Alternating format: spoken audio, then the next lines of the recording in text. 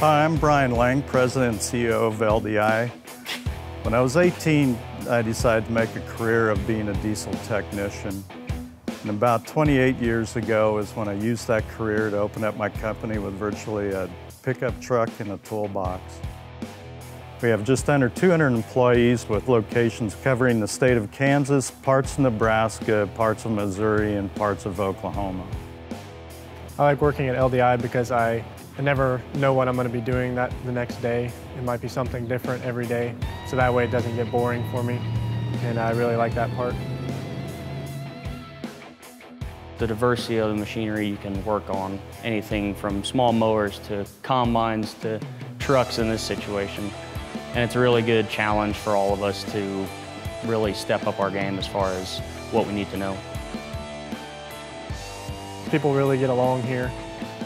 Um, there's a lot of customer interaction and I really like uh, interacting with customers and talking to them and uh, knowing that they're happy with your work is a really good feeling.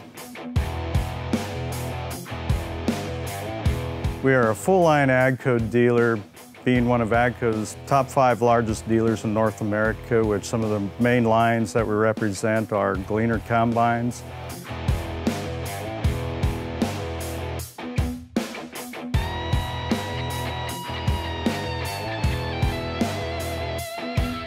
AgChem application equipment,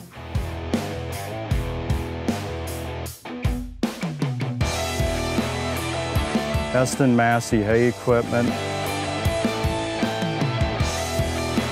and Challenger tractors.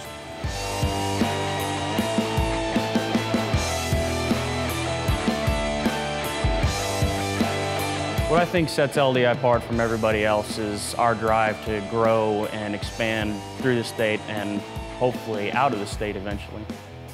So with my background starting out in the service department as a technician, you can understand that we value service technicians as being the basis of what our company exists on. Without the technicians, we can't provide the service we need across the state of Kansas and give our farmers the support that they need. Scholarship program was beneficial to me because it was a good peace of mind knowing that once I graduated, I had a place to go and I didn't have to worry about looking for a job, and the fact that a little extra money can go a long ways.